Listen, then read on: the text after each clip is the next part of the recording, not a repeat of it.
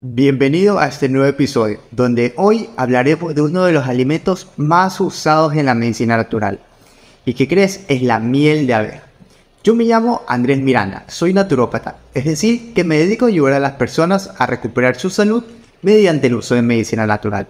Así que empecemos. Recuerda que esta información no reemplaza una consulta o un tratamiento que tú ya estés consumiendo y si quieres usarla junto con tu tratamiento, yo te sugiero que consultes con tu profesional de la salud. Dicho esto, vamos a empezar. La miel es reconocida ampliamente para endulzar y también se sabe de sus usos como expectorante y suavizante de la garganta, de las vías respiratorias, y aunque en menor medida se utiliza también como cicatrizante. Pero todo ello fue cosa de los abuelitos durante muchísimos años, porque hoy es reconocido científicamente con las propiedades que te mencionaré a continuación. Pero antes, déjame darte ciertos datos de la miel. ¿Sabías que como regla general, la mejor miel son las que son más oscuras? Y esto se debe porque su mayor contenido en minerales. Y puede llegar a tener cuatro veces más minerales que las que son más claritas. Aunque esto contrasta con la preferencia del consumidor en general, que siempre prefiere las mieles más claras. Continuando, vamos a hablar un poquito de la composición de la miel. Esta tiene soluciones azucaradas, agua, proteínas eh, en las que contiene aminoácidos y enzimas, también vitaminas, antibióticos naturales y una gran cantidad de minerales y oligoelementos. Y ahora vamos a hablar un poquito más de propiedades. Y una de ellas es que combate los microbios.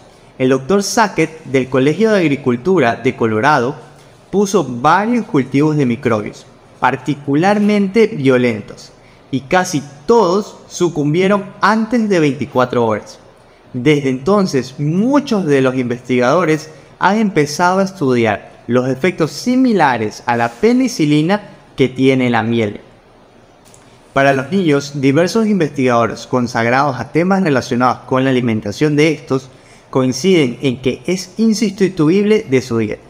Los doctores Heidegger y Tanquari de la Universidad de Minnesota y también los doctores Schutz y Carnot de la Universidad de Chicago dicen lo siguiente.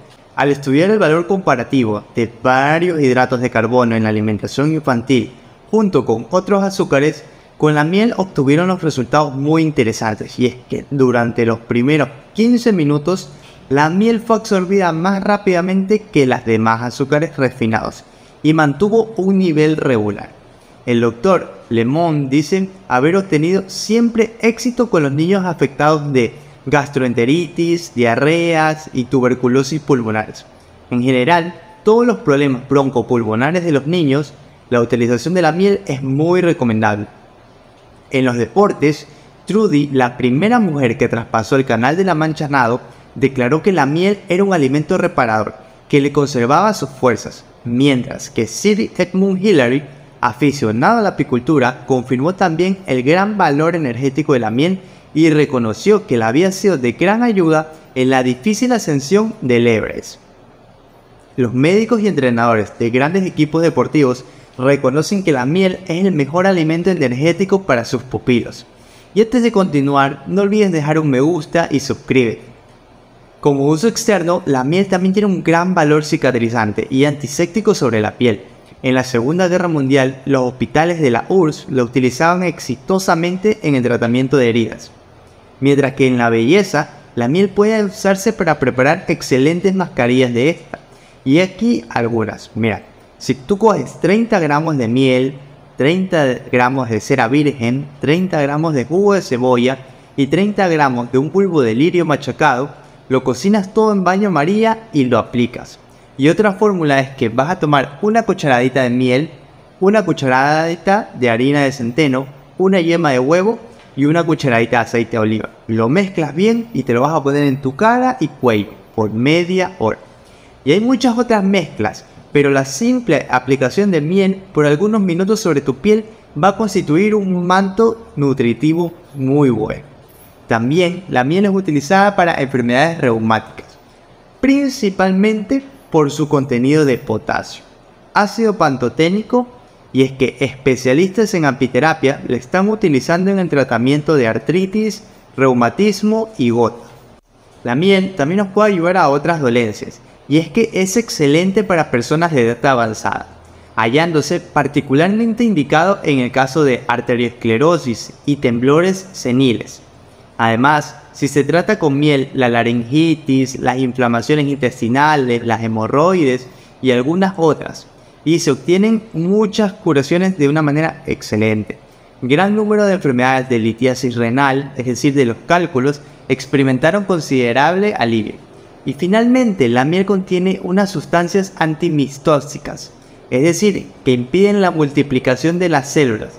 Y esto explica la rareza del cáncer entre los apicultores. La miel también te va a ayudar para el corazón. Y es que para las enfermedades cardíacas está muy extendido y el simple consumo de regular de miel ejerce una acción sobre esos corazones debilitados. Algunos autores aseguran que la miel contiene un principio activo similar a una hormona que produce energía. Además, regula la presión arterial, depura la sangre, refuerza las defensas del organismo. Así que, ¿tú qué esperas ya para ir consumiendo tu miel? Para el aparato digestivo, la miel es un producto que prácticamente no necesita digestión Tampoco tiene efectos ácidos, contribuyendo considerablemente a la curación de úlceras.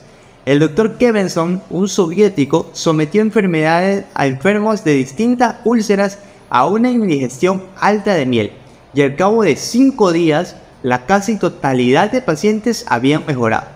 Y es que al final de la experiencia, un tercio del total se habían curado, y el resto había disminuido significativamente sus síntomas, sobre los intestinos tiene un efecto antiséptico y normalizador de la flora intestinal, por lo que se recomienda cuando hay infecciones gastrointestinales. Ahora te voy a hablar del hígado, y es que la miel ejerce una acción autoprotectora muy eficaz y facilita la utilización de la glucosa. Importante porque sirve para facilitar el trabajo del hígado contra las toxinas microbiales. Y es que, por ejemplo, en casos del alcoholismo, en el hospital de Boston, en Estados Unidos, se administraba miel cada media hora a estas personas que sufrían de alcoholismo para calmar sus estados de excitación y hacerlo volver a la sobriedad. Para los riñones, la miel propicia un verdadero lavado de riñones y de las vías urinarias. Un respetado urólogo informó acerca del beneficio de la miel en casos de cistitis. Y bueno, hablando del aparato respiratorio ahora, es quizás su uso más común, ¿no? ya que ayuda a calmar la tos, favorece la expulsión de las secreciones como los mocos, y la ciencia médica ha comprobado que en problemas de faringe, tráqueas, bronquios, tiene resultados innegables. ¿Y sabes cómo también te va a ayudar la miel? Cuando tengas problemas de insomnio. Y es que la miel es un sedante que actúa sobre todo el cuerpo. Toman una o dos cucharadas antes de acostarte y vas a ver cómo favorece la conciliación de tu sueño siendo preferible ingerir esta a cualquier otro fármaco. Y ciertas recomendaciones que te puedo dar es que en el caso de diabetes no te recomiendo su uso, al igual que tampoco en ayunas.